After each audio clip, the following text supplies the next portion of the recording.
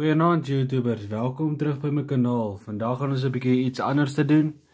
Jammer julle kyk na 'n rekenaarskerm. Dit wat nogal vandag gaan gebeur is 'n unboxing van 'n 'n watch wat ek gekoop het. Die foon, die watch se naam is Polaroid Active Full Touch Fitness Watch. So kom ek wys vir julle hoe lyk die boksie. Hy kom nou in die skerm.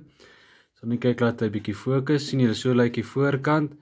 Ek gaan net vandag 'n unboxing doen. Ek gaan nou nie 'n review doen op die watch nie. Ek gaan net vir julle wys hoe lyk die boksie. So lyk die voorkant. Die onderkant kan julle net die barcode sien, dan aan die kant, so lyk die kant. So lyk die bokant. Nou weer die kant en nou gaan ons agterkant. Ek gaan net laat hy fokus. Ek hoop julle kan daar mooi sien. Kom ek lees vir julle hierdie features. Hy het 'n 24 hour heart rate monitor uit 'n blood pressure indicator, 'n blood oxygen indicator, 'n IP68 waterproof dit is 'n standaard perimeter calorie count, sleep monitor of alarm clock, sedentary reminder, multi-sports modes, bluetooth connectivity, income call and message notification, with call hangout function, weather forecast, volgens hulle het hy 'n 15 dae battery life en dit is 'n full round LCD skerm met full touch soos ek nou genoem het 'n innovative design with full carbon housing ek like die carbon housing en customizable watch faces. Goed kom ons kyk wat sy spesifikasies. Hy het 'n 1.3 inch color touch screen met round LCD 240 by 240 pixel screen. Hy het 'n temper glass 9H ek weet nie waarvoor dit nie Hy's full touch soos hulle sê en GPS kry van jou mobile phone af, Bluetooth version 4.1. Soos hulle gesê het 15 dae usage time, standby time 60 days, dis as jy hom nou nie gebruik nie en 'n battery tyd word op 50 mAh. Chipset is die Nordic NRF 5282 Smart LP chipset. Uit 'n hard rate chips is die HRS vir die free 100. Compatible met Android 4.4 Plus en 'n uh, Apple iOS is die 9 plus. Soos ek kan sien, ons nog glad nie oopgemaak hier, die stiekertjies is nog aan, so ek die voog die watch gaan nou net van die skerm af gaan, dan gaan ek gou die goedjies afhaal dan sal ek die boks oopmaak.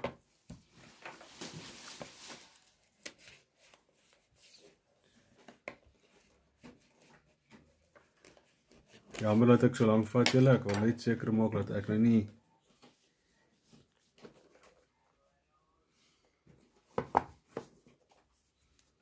So jy kan sien ek's nou nie ekspert van hierdie video's nie.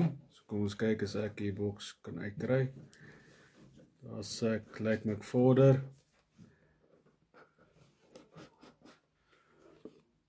Daar sê so is die boks, jy kan sien so insit boks. So gefeel hulle nou wys hoe lyk die boks aan die binnekant. Lyk my met die strap self aansit, soos julle nou daar kan sien. So lyk die kante.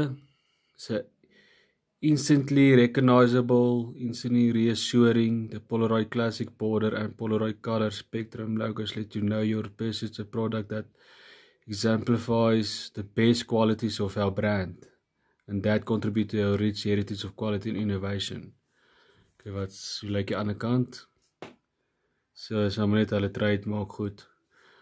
Okay, dan so lyk hy weer. So kom ons kyk as ek die watch uithaal. Wat's hier onderin? Kyk, jy sien so is 'n leier wat jy uithaal wat die watts is. Goed, soos jy kan sien hierso binnekant, hier sal seker nou net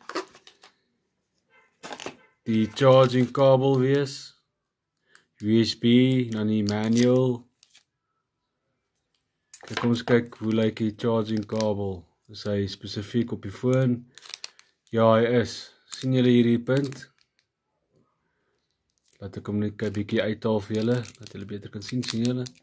So moenie hierdie kabel verloor nie. So kan nie enige kabel gebruik nie. Julle, dit is die foon. Ek gaan nou kyk wat hoe die foon aan mekaar te kan kry. Soos ek sê, hier is net 'n unboxing. Ek weet dit is nou nie 'n lang video nie. Ek hoop julle het dit geniet. Gesien hoe lyk die watch. As julle belangstel om die te koop, ek sal kyk as ek die link vir julle kan opsit. Dalk net omdraai dalk wys hy beter so. sien julle so wys hy. Dis die strap met die ding en kom as jy agterkyk sou jy seker die sensor sien. Daar is die charging punt en daar is die sensor Polaroid name brand stop. Julle ek het al lank na hierdie watch gekyk want soos ek sê budget is maar streng. Ag, en dan sal ek nou die ding laat uitval. Ja, so jy het gesien hoe val hy. Maar ja, hy's nog heel. So julle, ek hoop julle het die video geniet. Sien jy weer. Cheers.